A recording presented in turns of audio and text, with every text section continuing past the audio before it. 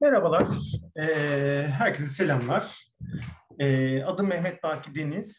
Ee, bugün sizlere e, doktora sürecimden, doktora serüvenimden e, bahsedeceğim. Öncelikle e, yani Pınar Deniz, ah, Pınar Dinç özelinde Turkey Beyond Borders ekibine teşekkür ederim beni davet ettikleri için, bu hani fırsatı sundukları için.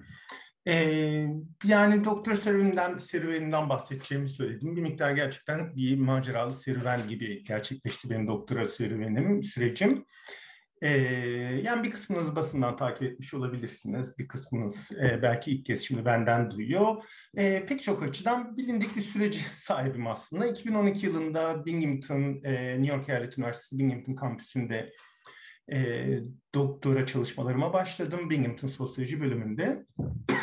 Ve 7 yıllık bir sürenin sonucunda, 7,5 yıllık diyelim, 2019 Aralık ayında e, doktora tezimi başarılı bir şekilde e, savunarak e, doktora çalışmalarımı bitirdim. E, ve Türkiye'de e, işte çalışmak, hayatımı yaşamak için geri dönüş e, yaptı Türkiye'ye. E, bir vakıf üniversitesine başladım yarı zamanlı olarak e, ve tam zamanlı çalışabilmek için e, YÖK'ün koyduğu bir zorunluluk olan doktora denklik belgesi için başvuruda bulundum. Buraya kadar her şey normal. Herkes benim gibi zaten yurt dışında doktora yapan insanlar.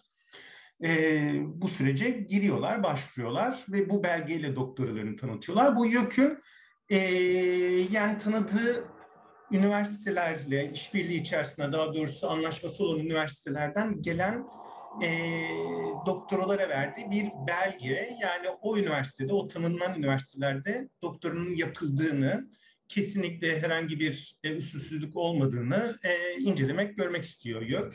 Bu anlamıyla da bir mantığı var tabii ki. E, benim doktoramı yaptığım üniversitede Binghamton Eyalet Üniversitesi yıllardır YÖK'le uzun ilişkileri olan, işte çift anadal programı olan bir e, okul. E, lisans düzeyinde çift anadal programları var ve pek çok e, doktora öğrencisi, doktora mezunu da Türkiye'ye döndü, belgelerini aldılar ve ülkenin e, vakıf ve devlet üniversitelerinde araştırmalarını, çalışmalarını sürdürüyorlar. Benim açımdan da aslında çok prosedürel bir süreçti. 4-5 ay süreceğini arkadaşlarımdan edindiğim. E, 2020 yılının Mayıs ayında başvurdum e, ve çalıştığım üniversiteyle de işte denklimi almanın akabinde e, kadrolu bir şekilde çalışmaya devam edebileceğime yönelik bir sözel bir anlaşmayla anlaşmada yaptık ve ben bu şekilde de Türkiye'de aslında geldim, yerleştim. E, hayatıma devam ediyor idim.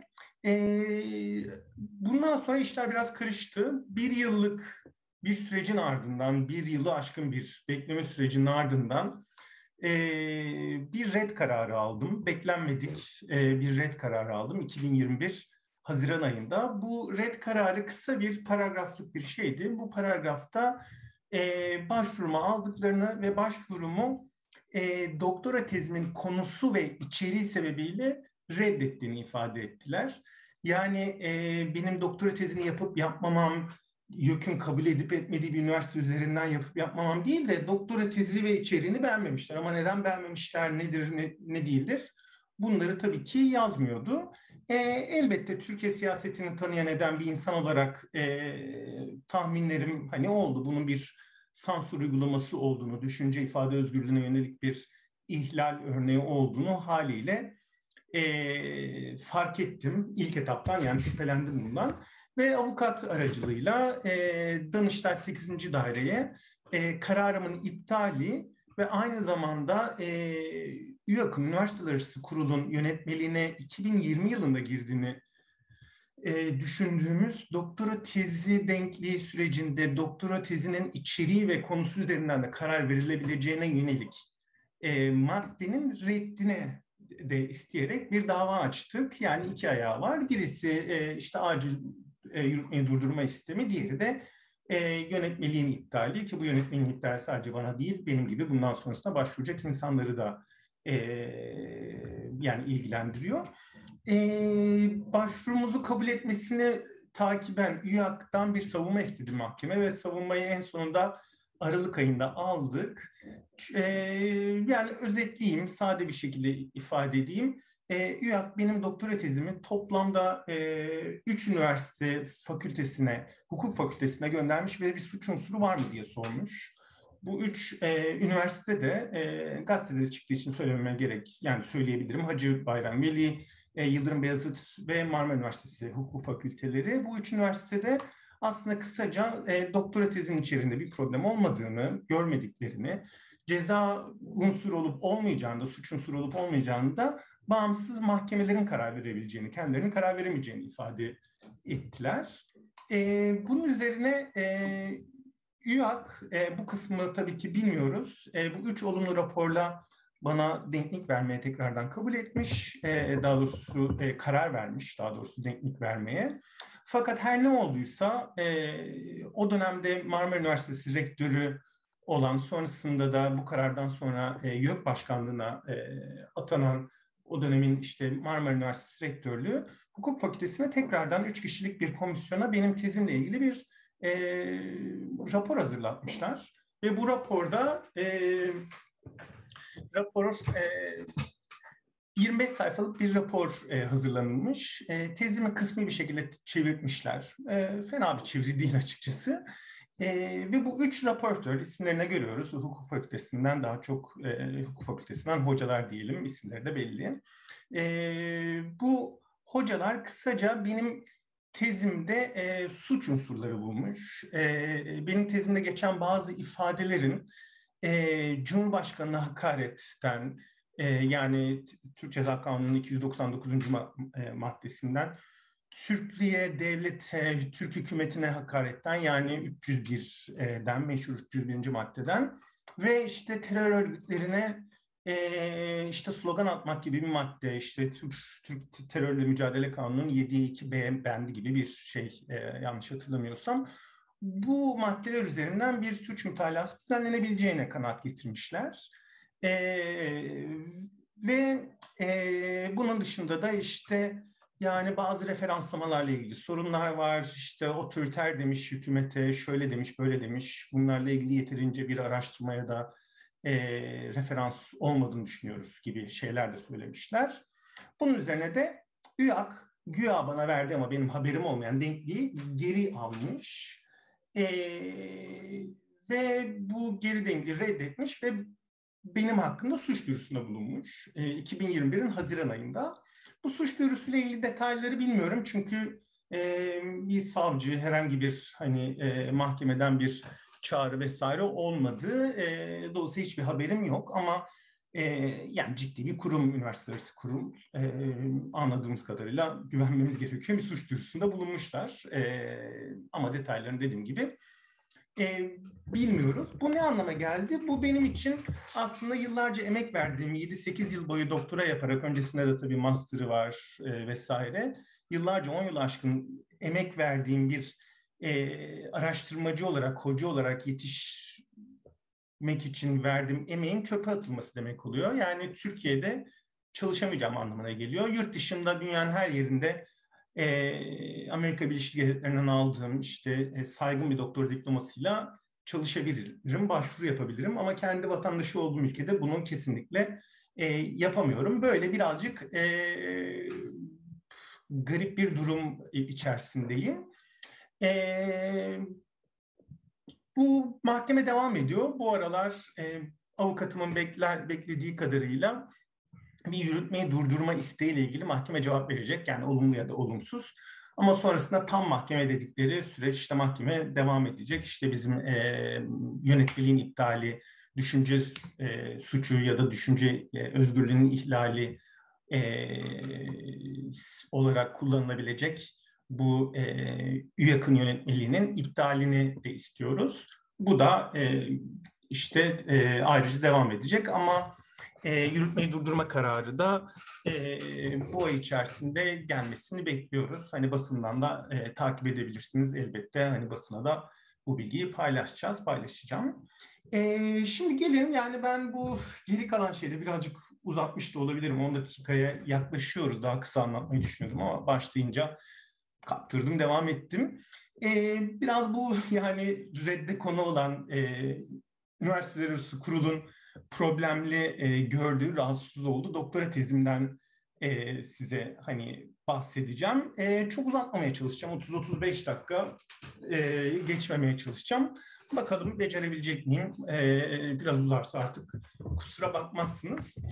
E, bir PowerPoint üzerinden yapmayı düşünüyorum e, sunumumu. Açalım. E, evet, büyütelim. Güzel. Tezimin başlığı bir miktar daha farklıydı ama şimdi hani işte kitap için olsun ya da sunumlarda falan böyle bir başlığı tercih ediyorum. Ee, belki biraz daha aslında siyasi yani de biraz daha değiştirebilirim başlığı. Türkiye'yi kim yönetiyor? Sermayenin iktidarı ve otoriter popülizmin e, yükselişi. Açıkçası şöyle bir şeyle de başlayabilirim. Bunu aslında ilk etapta bahsetmek istiyordum. Yani savunmayı okuduğumuz zaman UYAK beni Erdoğan'ın temelsiz bir şekilde antidemokratik bir lider, antidemokratik bir şekilde toplumsal gruplarla ilişkisi olan bir lider e, ve işte AKP'yi de böyle bir hükümet olarak gördüğümü iddia ediyor, söylüyor. Şimdi bu aslında garip bir durum çünkü bunu söyleyen ben değilim. Bu iddiayı AKP'nin e, gitgide artan bir şekilde otoriterleştiği iddiasını hem yerli hem yabancı pek çok gözlemci söylüyor. Hem akademik alanda söylüyorlar hem de işte basın yayın düşün e, dünyasında bu çokça tekrar edilen bir gerçek. E, o anlamda da bir özgünlüğü yok bu argümanın. Yani şu anda 2022 yılında herhangi bir insanın master ya da doktora tezi yapıp ben e, Adalet ve Kalkınma Partisi ve işte Başkanı Recep Tayyip Erdoğan'ın, Cumhurbaşkanı Recep Tayyip Erdoğan Türkiye otoriter bir yola doğru evrildiğini iddia edeceğim ve bunu göstereceğim demek bir akademik tez için anlamlı değil. Çünkü bu çokça çalışıldı. Onlarca, yüzlerce bu alanda doktor tezi, master tezi ve e, makale var, çalışma var, kitap var. E, çok bir gerçekten anlamı yok. E, benim tezim bu anlamda çok ilginç değil. Hiçbir ilginçliği yok. Yani e, benim tezim ne deseydiniz ben ilk etapta ben Erdoğan'ın ve AKP hükümetinin otoriter olduğunu göstermeye çalışıyorum gibi bir şey söylemezdim. Gerçekten araştırmam da bununla ilgili e, değil. Ben bunu verili bir bilgi, literatüre dayanarak verili bir bilgi olarak alıyorum ve bunun nasıl ve nedenini anlamaya çalışıyorum. Yani ne oldu da, nasıl oldu da e, Adalet ve Kalkınma Partisi Erdoğan liderliğinde daha otoriter bir rejimi Türkiye'de kurabildi. Nasıl bir otoriter rejim değişikliği yapabildi?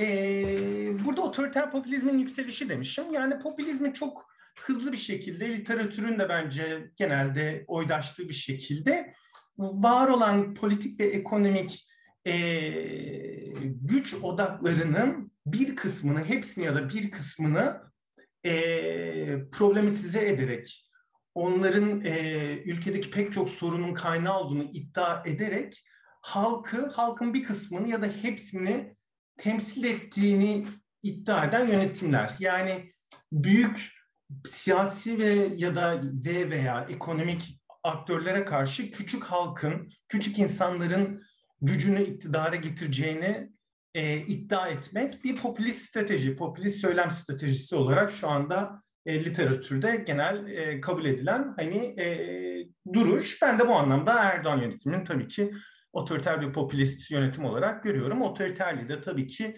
anlamı liberal, e, yine sade liberal demokrasi kavramı içerisinde e, ifade ediyorum. Yani işte e, üç güç erkinin yürütme, yargı e, ve işte e, yasama e, aygıtının e, tek bir iradede, tek bir partide ve hatta gitgide tek bir adam ve çevresinde toplanma e, süreci e, olarak hani iddia ediyorum. Açıkçası böyle bir toplanma halinin bile bir tek adam rejiminin bile aslında toplumsal grupların içerisinde bir sermaye grubuyla çok iç içe giderek onunla birebir iletişim halinde e, bu sistemi yürürlüğe koyduğunu hani e, gösteriyorum tezimde. E, daha böyle biraz daha özel e, anlatırsam e, genel sorum yani en büyük büyük büyük sorum tez içerisinde doktora çalışmam içerisinde ilk hükümet döneminde demokratik bir parti olarak yürülen Erdoğan ve AKP nasıl oldu da 2008 sonrasında otoriter bir rejim değişikliğini yürürlüğe koyabildi? Ben bu soruyu en iyi bir şekilde anlamak için e, Erdoğan ve AKP'nin sermaye içerisindeki ilişkilerini, sermaye sınıfını ikna etme gücünü ve başarısını anlamak gerektiğini ifade ediyorum. Bu anlamda benim tezim yerelden aşağıdan AKP ile işte mahalle e, ya da iş yeri örgütlenmelerinin güçlü, işte tarikat ilişkilerinin e, güçlü gücü üzerinden bir analiz değil, daha tepeden e, yönetici sınıflarla olan ilişkisi üzerinden e, analizi hani içeriyor. Bu anlamda da pek çok çalışmadan hani e, farklılaşıyor. E, hızlı bir şekilde bir cevap vereyim. Yani e, tek bir cevabı yani hızlı bir cevabı aslında yok ama hani e, yapılabilir de tek cevapla ne deseydiniz TÜSİAD derdim. E, 2008 sonrasında aşama aşama AKP'nin yükselişini ifade eden, anlatan, e, bunun nasıl olduğunu bize cevabını veren yegane e, sermaye sınıfı örgütü e, TÜSİAD, Türkiye Sanayi ve İş Adamları, e, şimdi iş insanlarına dönme gerçi derneği.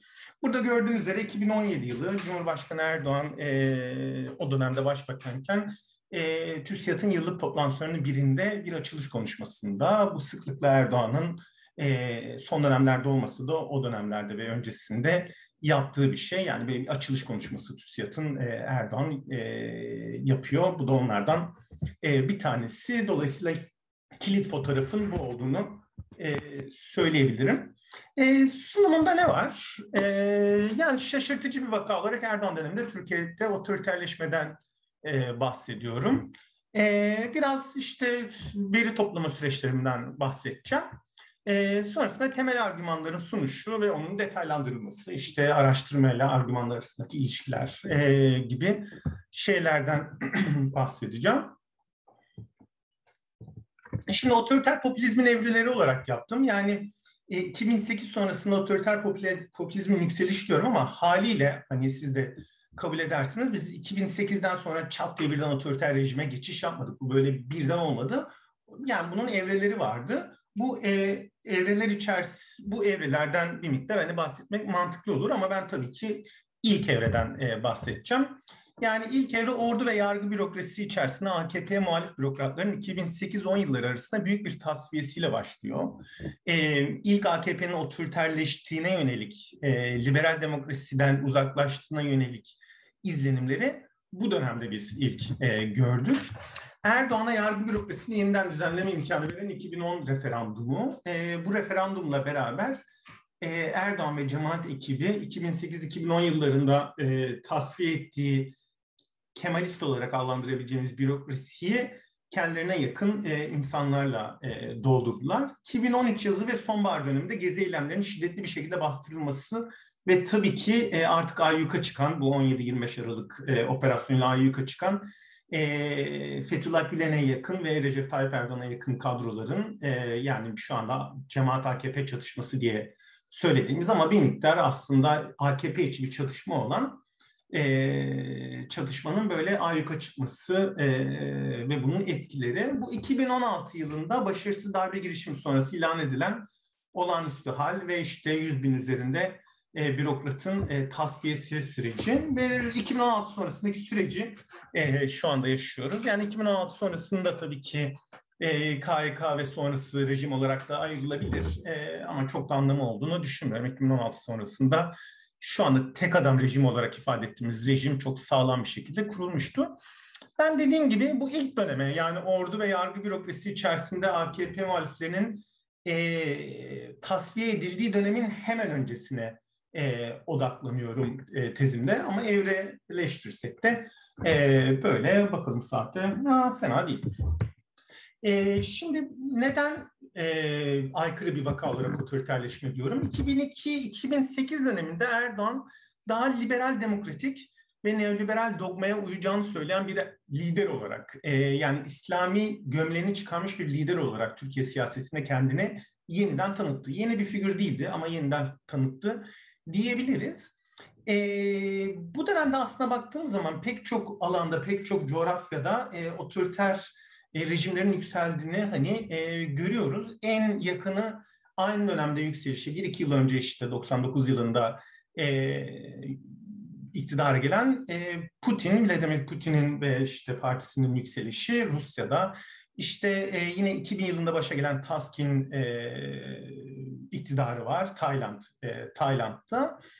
E, yani sol pembe dalga bir Güney Amerika'da böyle bir dalga var. Bundan bahsetmek istemiyorum ama 2008'den sonra artık işte Orban'ın yükselişi, e, sonrasında Polonya'da buna katılıyor. İşte Doğu Avrupa'da yükselen e, otoriter hani e, rejimler var. Bunların hepsinde gördüğümüz ortak nokta bu rejimler genelde popülist bir söylemle, stratejiyle iktidara geliyorlar ve geldikleri anda var olan e, bürokratik ve, ya da ekonomik e, elitleri ortadan kaldırmaya yönelik bir strateji yürürlüğe koyup tüm gücü kendi ellerinde toplamaya çalışıyorlar. Böyle bir strateji e, oluşturuyorlar.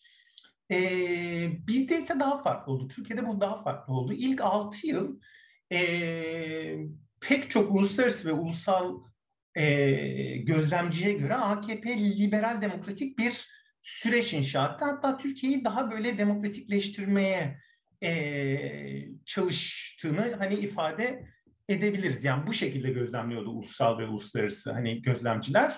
Mesela ben hani Financial Times'tan iki tane e, şey e, paylaşacağım. Yazı, köşe yazısı. Bunlardan bazıları işte e, Avrupa Birliği içerisinde pozisyon olan da e, insanlar o dönemde. Hükümet Türkiye'de demokrasinin güçlendiğini iddia etmekte haklıdır. Yargı kendisi için acı veren bir reform sürecinden geçiyor. Eski tabular güncel tartışmalarda sorgulanıyor. Başka bir yazı. Tam da Avrupa'nın demokratik toplumda, toplumlarına katılma imkanı tanıdığı için Türkiye modern ve çoğulcu bir devlet olarak ortaya çıkıyor.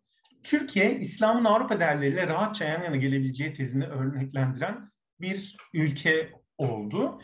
Bu dönemde hatırlayanlarınız e, vardır 2008 öncesinde.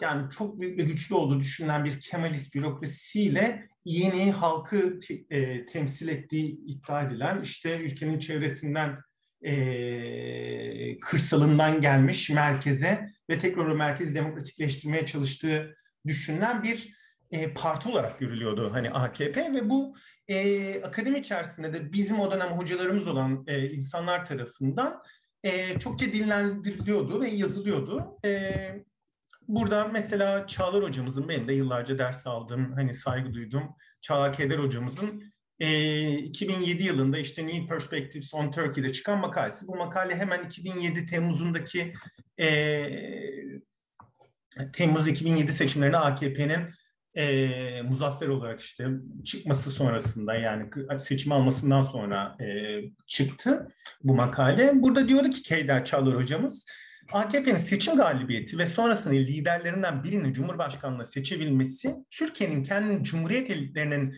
vesayetinden kurtulmak için yürüttüğü mücadelenin bir sonucu olabilir. Eğer öyleyse bu gelişme siyasi ortamın daha sakin ve normal bir tartışma ortamına doğru dönüşeceğini müjdelemektedir.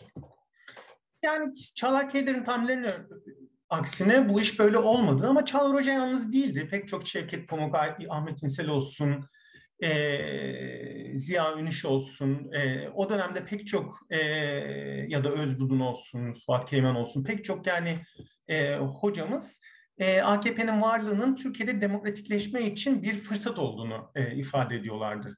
Ama her ne hikmetse tam tersini yaşadık e, bu dönemde. 2008 sonrasında otoriter bir Erdoğan e, anlatısı. Aynı yazarlar bu sefer de Erdoğan'ın çok işte otoriterleşme sürecini başlattığını, derinleştirdiğini, konsolide ettiğini e, ifade ettiler. Dolayısıyla benim sorum yani böylesine liberal demokratik bir rejim e, AKP ve Erdoğan iş başına geldikten 5 yıl sonra neden çöktü? Nasıl çöktü? Bunu nasıl anlayabiliriz? Bunu e, Erdoğan'ın kişiliği üzerinden bence anlamak çok mümkün değil. Çünkü 2008 öncesinde farklı bir insan, yani farklı bir e, yönetim tarzından bahsediyoruz. Dolayısıyla böyle bir Erdoğan'ın baştan itibaren olan bir e, otoriter kişiliğini bence burada vurgulamak çok anlamlı değil diye düşünüyorum. E, var olan analizlerin yetersizliğinden biraz hani e, bahsedelim.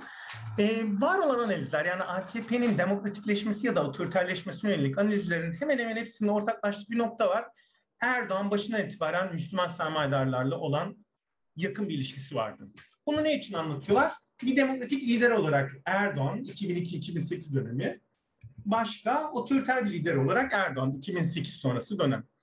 Bu iki dönem içinde yani neden demokratikleşti? Çünkü işte e, İslami sermaye biraz daha yumuşadı. e, daha böyle Avrupa'ya, Avrupa Birliği'ne bakmaya başladı vesaire. 2008'den sonra neden oldu? İşte çünkü böyle saldırılar geldikçe yine Müslüman sermaye biraz daha sertleşti.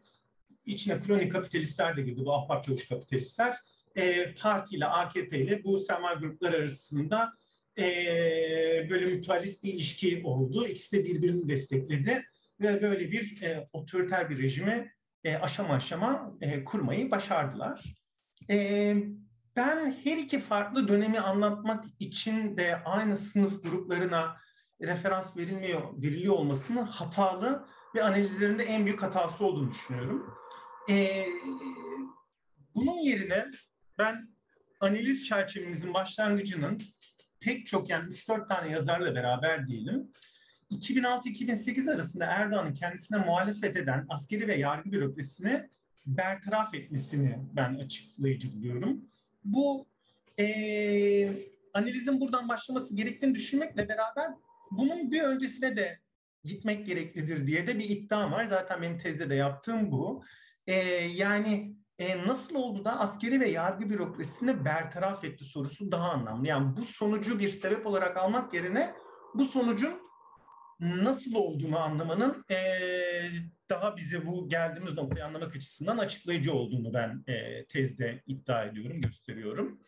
Benim sorum yani AKP nasıl oldu da çok güçlü askeri ve yargı bürokrasisini yenmeyi başardı. Yani öyle ya yani pek çok yazar demiyor muydu? Hani böyle bir Kemalist bürokrasi var ve Türk siyasi hayatının yenilmez öğesi. Bunlar yani işte 1908'den beri e, halkın boğazına sarılmışlar demokratik her türlü hak mücadelesini bastırıyorlar. Sebebine işte bir, bir tane Jacobinist, işte Kemalist e, bürokratik grup, grup özellikle de yargı ve işte ordu içerisinde e, çöreklenmiş. Yani nasıl oldu da birden bu iki yıllık mücadelenin sonunda ya da 4-5 yıllık bir iktidara gelmiş bir grup bu e, şeyi bertaraf edebildi. Neydi? E, çok güçlü oldu iddia edilen bu bürokratik hani öğeyi.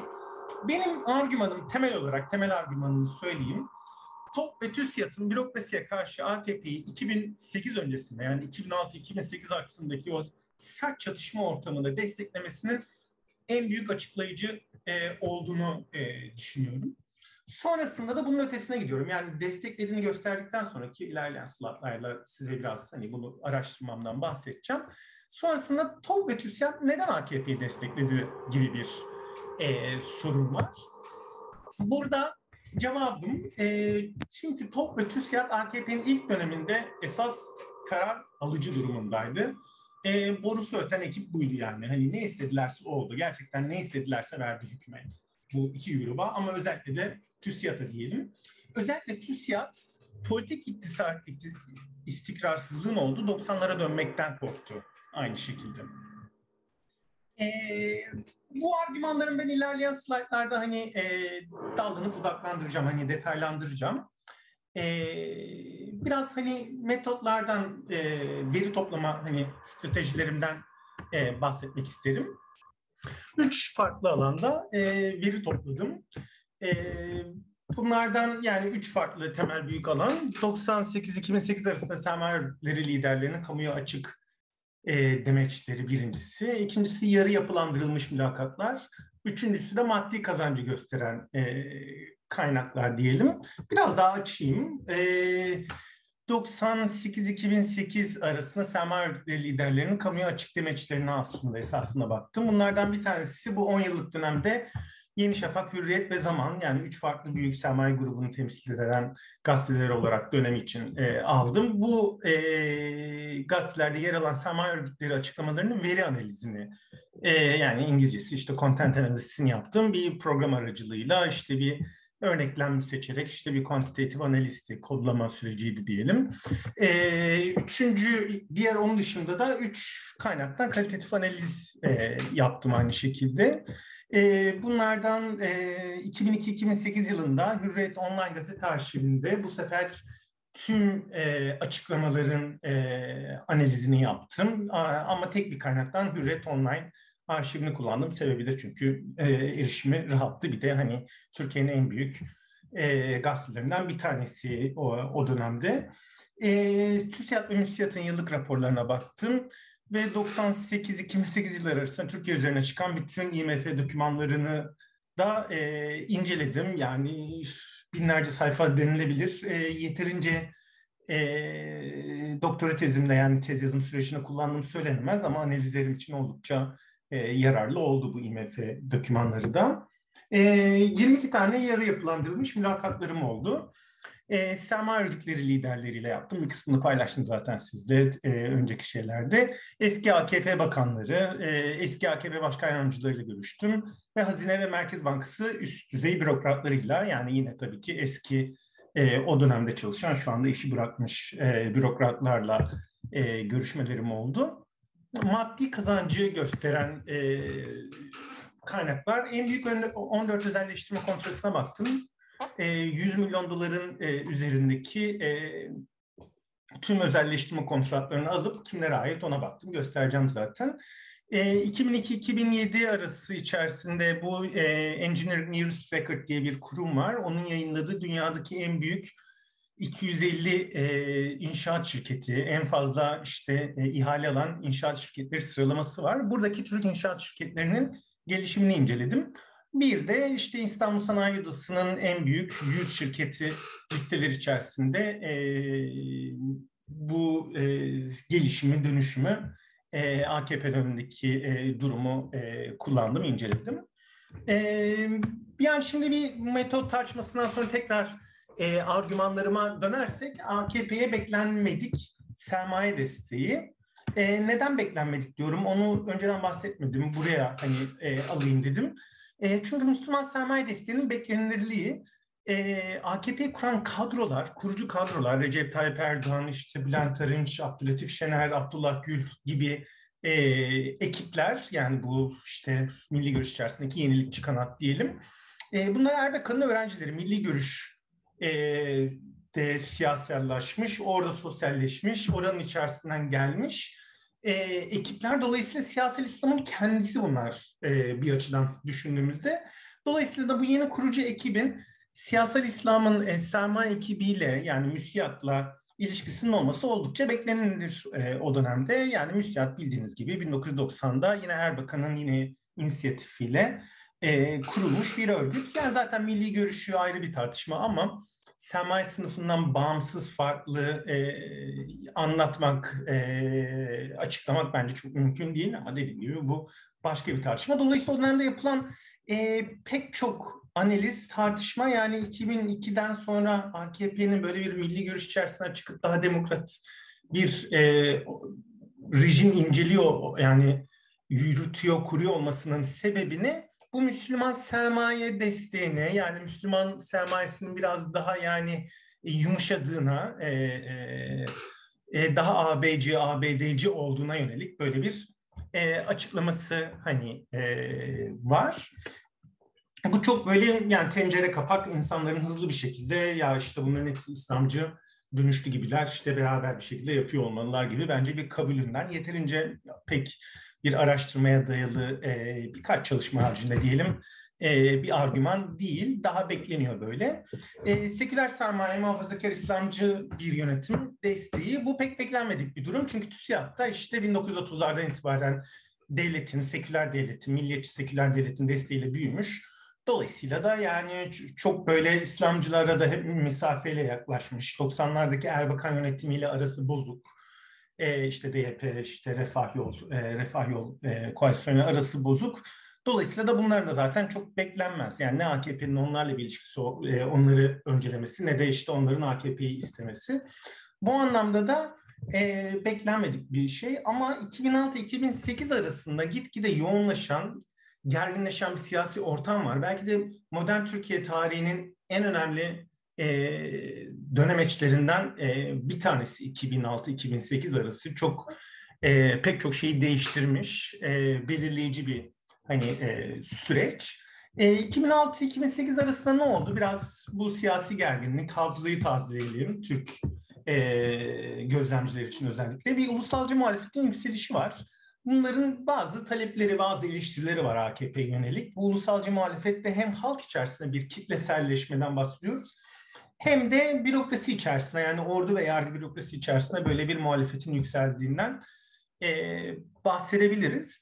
Bir AB meselesi ve bağımsızlık e, meselesi var. Yani tam bağımsız Türkiye hedefine yönelik bir e, sekte vurduğuna yönelik bir inanç var bu muhalefette e, Avrupa Birliği üyelik sürecinin. AKP'nin artan İslamcılığından rahatsız oluyorlar. Yani AKP'nin şimdiki gibi gitgide tarikatlarla iç içe İslamcı bir yönetime doğru gideceğine yönelik bir korkusu, kaygısı var bu ulusalcı muhalefetin.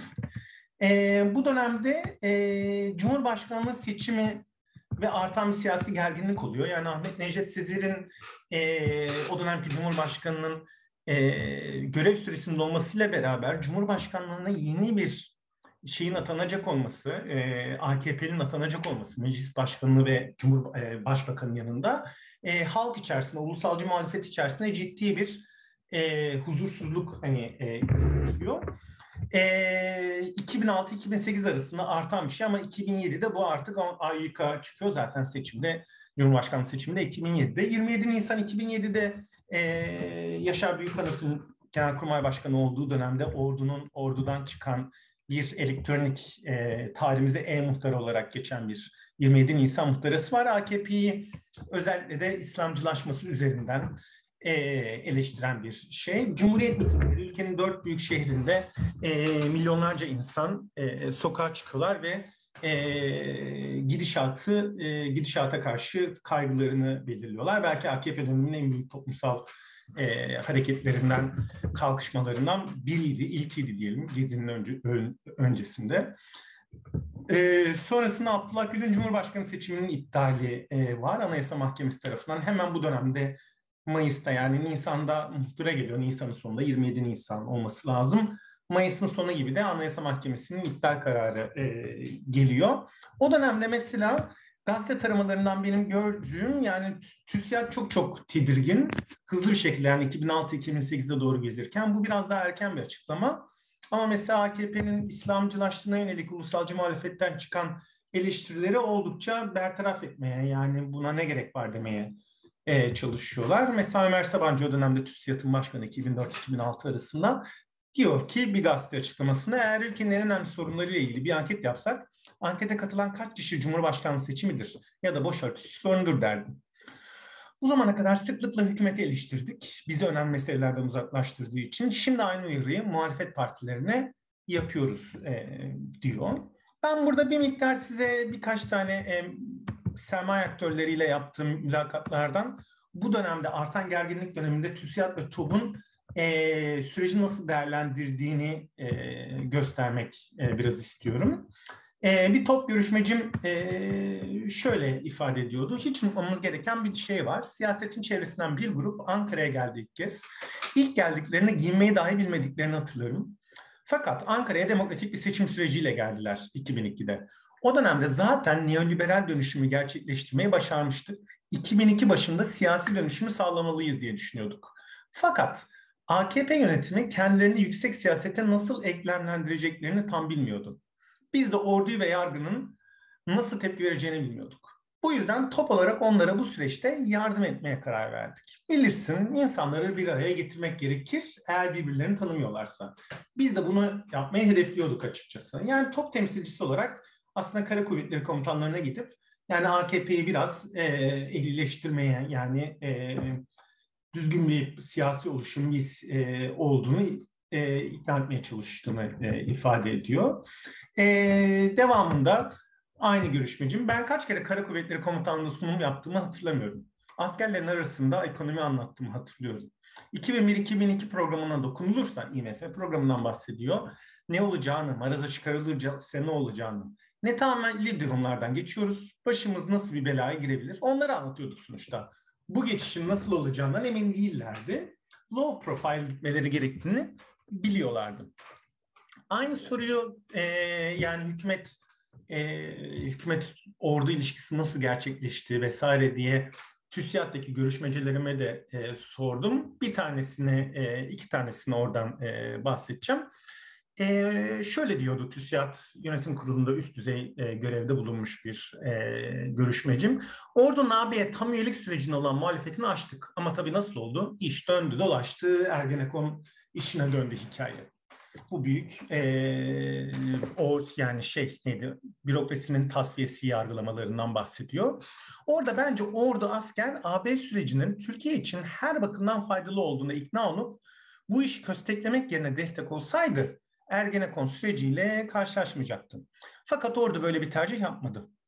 Kendi konularını korumaya çalıştılar. İş eninde sonunda Ergen'e kadar gitti ve istemeyen kırılır hikayesi oldu.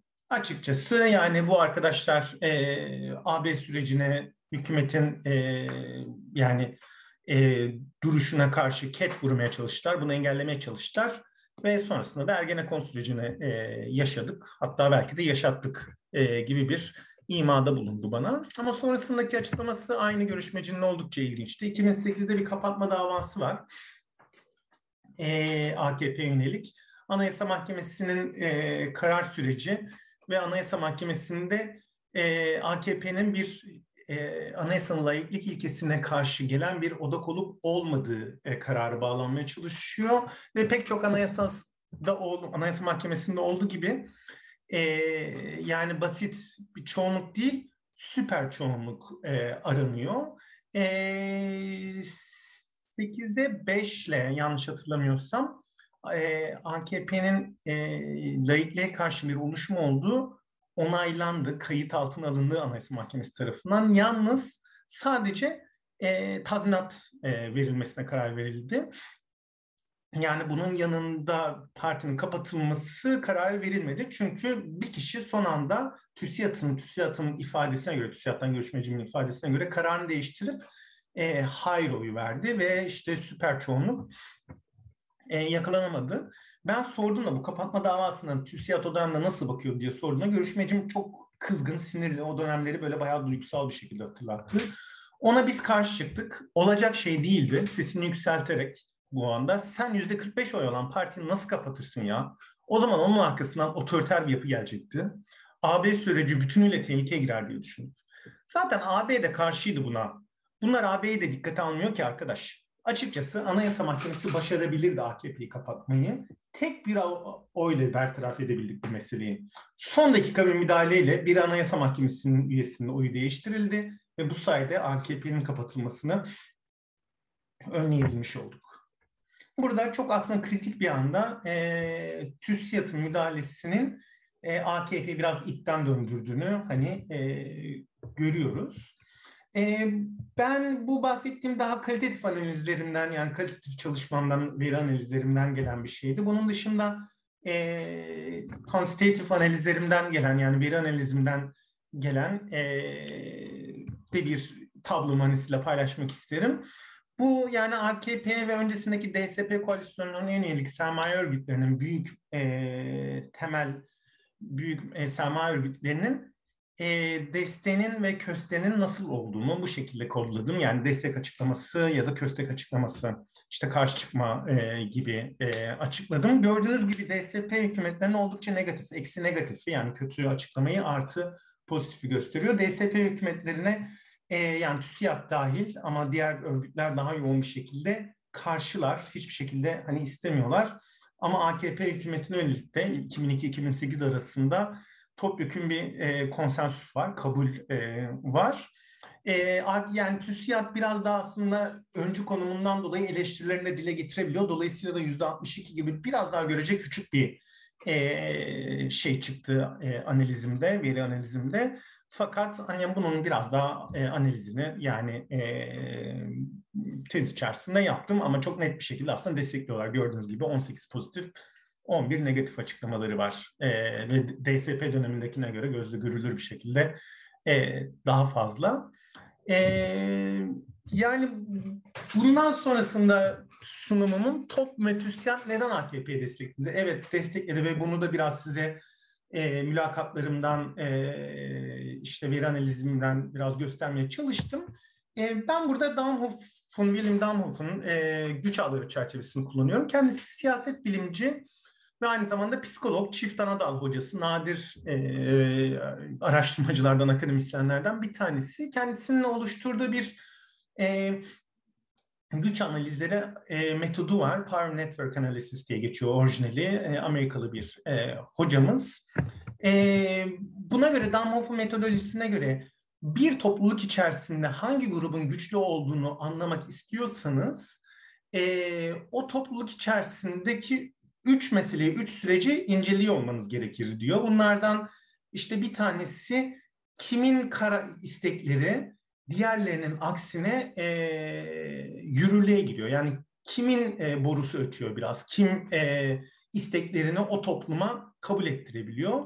E, ikincisi hangi grup o toplumda değerli kabul edilen maddeleri yani burada tabii ki para diyelim e, paraya daha çok erişim var. Yani hangi grup o topluluk içerisinden daha zengin, daha zenginleşiyor. Üçüncüsü de hangi grup o toplumda yönetici pozisyonları daha fazla işgal ediyor. Kendi oranına yönelik. Yani işte sermaye sınıfı için söylüyorsak sermaye sınıfı ülkenin yüzde 0.1'ine e, sahipse ama Bakanlar Kurulu'nda işte yüzde 35 gibi bir oranı varsa ha, o zaman yani e, e, yönetici pozisyonlarda çok ezici bir şekilde sermaye sınıfı var. E, güçlü olduğuna yönelik düşünebiliriz diyebiliriz e, bunu. Damhoff'un stratejisine göre ve Damhoff diyor ki bu üç e, süreçten üçü de ya da en az iki tanesinde belirli bir sosyal sınıfa ya da onun fraksiyona yönelik bir e, duruş görürseniz o grubun güçlü olduğunu ifade edebiliriz diyor.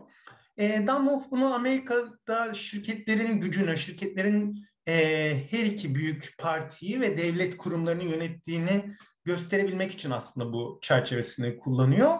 Ama e, yani sosyologların herhangi bir güç analizinde yani toplumsal cinsiyet ya da ırk meselesini içine alan e, güç analizinde de kullanabileceği aslında bir çerçeve sunuyor. Ben oldukça faydalı olduğunu e, ve sosyologların hani e, incelemesi gerektiğini düşündüğüm bir e, çerçevesi var e, William Damhoff hocanın. E, ben o William Damhoff'un çerçevesini kullanarak en çok maddi kazancı TÜSİAD'a üye şirketlerin gerçekleştirdiğini gösterdim. E, ve TÜSİAD ve TOB'un AKP'nin ilk döneminde karar alma süreçlerini tamamen domine ettiklerini, ne istedilerse olduğunu, özellikle de TÜSİAD'ın e, böyle olduğunu gösterdim. Ve bunun dışında da Bakanlar Kurulu'nda önemli pozisyonda e, ki insanların, bakanların daha TÜSİAD'ın istediği, kabul ettiği e, TÜSİAD'la ilişkisi olan insanlar olduğunu da e, gösterdim. Bu şeyde neydi sunumda çok ona e, girmedim. Hani içine katmadım. Ama bu ilk ikisi üzerinden bir miktar size elimdeki verileri paylaşmak istiyorum. Üç büyük alanda TÜSİAD en çok kazandı. Yani cebine en çok para girdi diğer gruplara nazaran. Bir, Türk İnşaat Şirketleri'nin uluslararası ihaleleri. İki, 2002-2007 arası büyük kamu e, iktisadi e, teşekkürlerinin özelleştirilmesi, kitlerin özelleştirilmesi. Üçüncüsü İstanbul Sanayi Odası ilk yüz listelerinde TÜSİAD'ın artan temsiliyeti.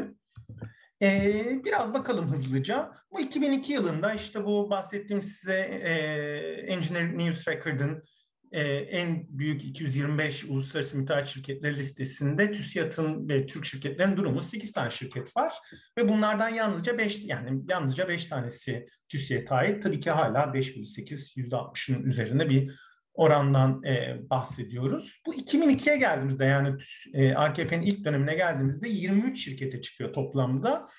E, ve bunların e, 17 tanesi TÜSİAD'a ait e, şirketler.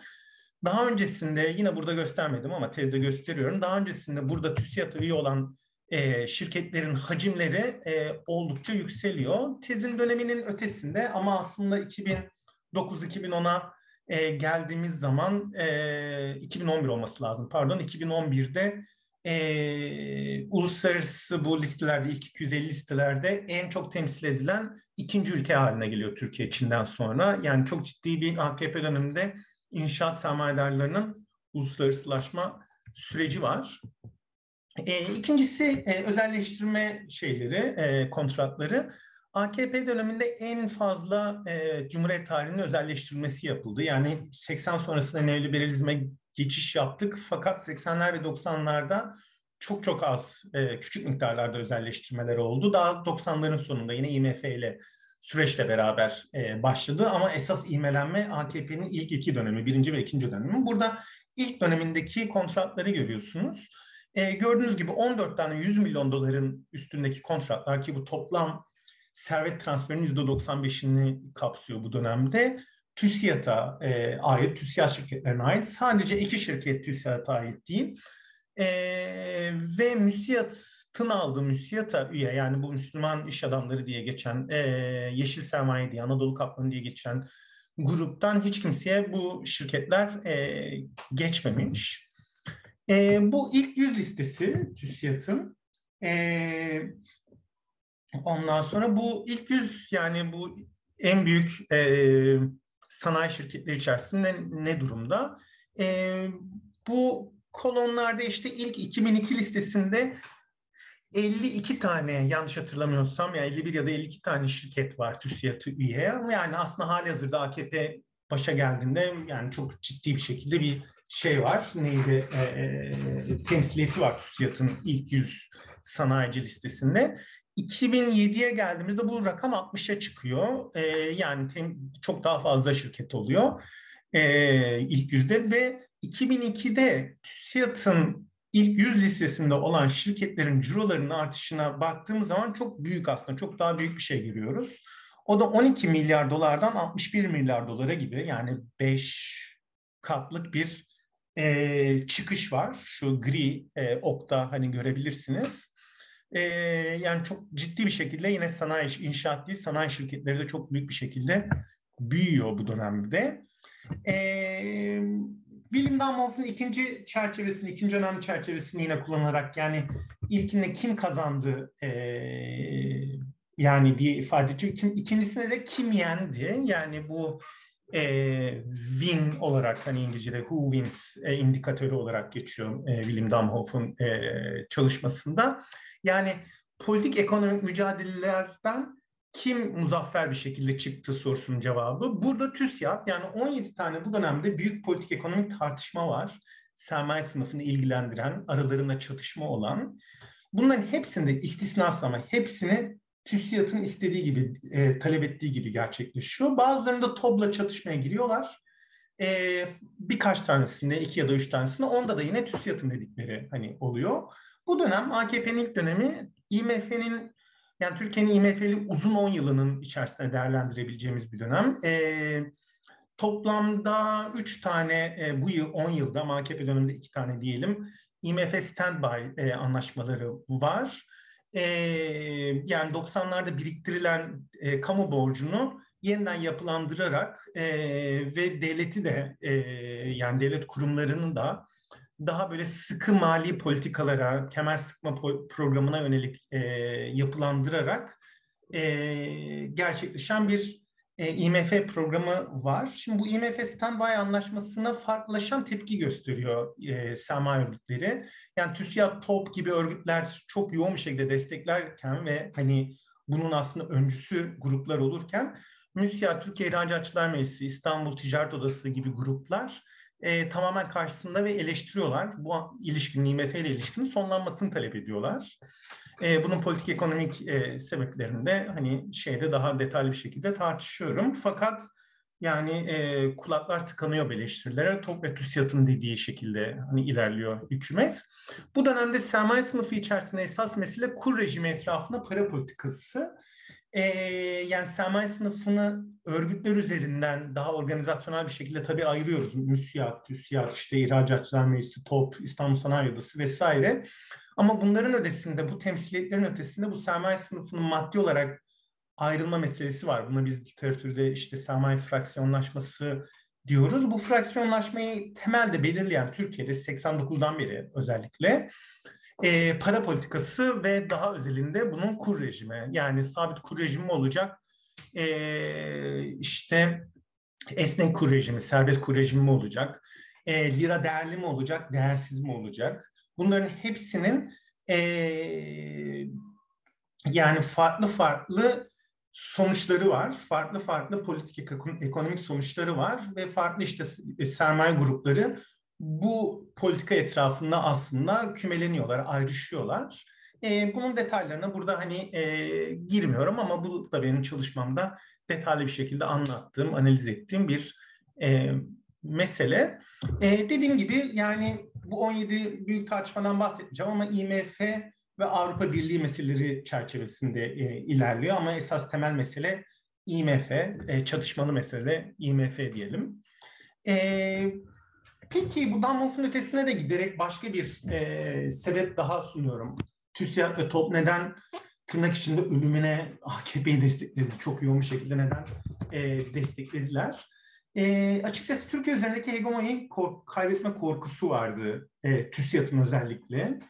E, burada yani TÜSİAD'ın 80'lerde kurduğu neoliberal hegemonya 90'larda güçlü bir meydan okumaya maruz kalıyor. 80'lerde darbe aslında darbeyle neoliberal bir dönüşümü gerçekleştirirken 90'larda böyle serbest seçimlere girmekle beraber e, işçi sınıfının tekrar ortaya çıkışı, işçi sınıfın tekrar bir aktör olarak e, çıkışı ve maaşlarda artış talebi, işte bu hatırladığımız bahar eylemleri ve sonrasındaki sendikal e, mücadele ama bunun da yanında bunun kadar önemli 90'larla beraber yeni bir e, farklı sektörlerde, özelleşmiş sektörlerde örgütlenen bir sermaye örgütlülüğünün e, oluşması. Yani Türkiye İhracatçılar Meclisi'nin e, kurulması, e, bir aktör olarak çıkması, müsiyatın e, çıkması, bunların aslında artık TÜSİAD'ın sermaye içerisinde kurduğu hegemonyayı temelli bir şekilde, güçlü bir şekilde e, sarsmaya başlaması ve bizim 90'larda politik istikrarsızlık işte diye hatırladığımız dönem koalisyon hükümetleri, bu hükümetlerin bazı bazı bakanlarının e, TÜSİAD tarafında olması, bazı bakanlarının MÜSİAD ya da Türkiye İhracatçılar Meclisi tarafında olması, bunlar arasında çıkan politik ekonomik kavgalar, e, sık sık seçimler vesaire. Yani TÜSİAD için özellikle 88 e, 98 aksı büyük bir e, hegemonyasının sarsıldığı e, ve onu tekrar kurmak için mücadele ettiği hani e, bir dönem. E, 98-2002 arasında koalisyon hükümetleriyle tekrar bir IMF anlaşmasıyla bu hegemonyasını yeniden tahsis etmeye çalışıyor. Fakat koalisyon hükümetlerinin hala varlığı bir istikrarsızlık kaynağı olarak devam ediyor. Bu yüzden de işte 2008'de artık yani 2002-2008 yılında tek parti ve TÜSİADçı bir hükümetin varlığı TÜSİAD'ı çok rahatlatıyor ve 2006-2008 arasında buna bir tehlike oluşması bürokrasi ve ordu tarafından e, TÜSİAD'ı oldukça tedirgin ediyor. Yani ve bunu ortadan kaldırabilmek için ellerinden gelen her şeyi yapıyorlar. E, o yüzden de olabildiğince hani e, karşı çıkıyorlar ve hani başarıyorlar. Yani birazcık aslında kendi toplum üzerinde kurdukları hegemonyayı koruma projesiydi AKP'yi e, şeye karşı neydi ordu ve yargı bürokrasisine karşı e, korumaları. E, tekrar hani e, şey yapayım neydi özetleyeyim. Neden Top ve TÜSİAD 2006-2008 yılları arasında asker yanlış yazmışım asker yargı bürokrasisine karşı AKP'yi hani savundu. E, çünkü TÜSİAD ve TOP Türkiye'yi bu dönemde yönettiler. E, ve daha da bunun da yanında TÜSİAD 90'larda olduğu gibi yeniden Türkiye üzerine kurduğu hegemonyayı kaybetmekten korktu. Bu da benim temel işte e, iki argümanımı bitirirken hani özetlemek e, istedim. Şimdi buradan çıkayım. E, bir son bitişte e, birkaç cümle etmek istiyorum. Bu benim tezim e, AKP'nin 2008 sonrasında aşama aşama otoriterleşmesini anlamak için 2006-2008 arasına bakmak gerektiğini ve buradaki de sermaye desteğinin varlığını ve neden var olduğunu anlamak gerektiğini ifade ediyor bunun üzerine. 2008 üzerine çok sonrasına bakmıyor ama bazılarınız diyebilir 2008 sonrasında ne oldu? Ben AKP TÜSİAD ikiliğinin e, yoldaşlığının belirli bazı pürüzlerle beraber olsa da 2013'e kadar çok muntazam bir şekilde devam ettiğini ama 2013 sonrasında gitgide sarsıldığını e, düşünüyorum. 2018 sonrasında da çok net bir şekilde bir e, çatışma ortamına e, girdiklerini hani söyleyebiliriz. Yani 2013 sonrasında e, hükümetin ihracata yönelik bir model değişikliği yapması e, ve bunu sürdürmesi e, bir problem yarattı e, TÜSİAD için. Bunun işte para politikasına ve mali politikalarda ve enflasyona yönelik işte yarattığı meseleler. E, bu da benim şu anki aslında e, projemin, işte araştırma projemin konusu. Dolayısıyla yani TÜSİAD'ın AKP'ye destekliği tabii ki kon, konjektürel e, çıkarlara uyuştuğu kadar. Şu anda tam bir zıtlık ve çatışma halinde olduklarını söylemek mümkün değil. Ama aralarında pürüzler var ve bence hala e, TÜSİAD olabildiğince kendi isteklerinde e, hükümetin programına e, katmaya çalışıyor. Yani böyle bence bir inancı hala var. Ama bir taraftan da tabii ki TÜSİAD için bence artık en iyi ihtimal hükümetin seçimleri kaybetmesi ve yerine işte Babacan Davutoğlu işte Kılıçdaroğlu ekibinin olduğu e, daha bir restorasyon programı. Yani işte e, eski daha neoliberal finans ve ekonomi yönetimine e, geri dönüş programı e, olduğunu düşünüyorum. Ama bu dediğim gibi benim şu anda devam eden araştırmamın konusu. Sadece bu yani e, tezde anlattığım hikayenin e, AKP ile sermaye sınıfının değişmez özelliği olduğunu düşünmediğimi hani ifade etmek istedim. E, benden bu kadar. Yani umarım buraya kadar gelenler olabildiğince e, ilgiyle e, izleyebilmişlerdir şeyi, e, sunumumu. E, çok hani teşekkür ederim. Sosyal medyadan bana haliyle ulaşabilirsiniz. Sorunuz vesaire olursa e, oradan da hani iletişim kurmak isterim e, sizlerle. Bu şekilde teşekkürler dinlediğiniz için. Görüşmek dileğiyle.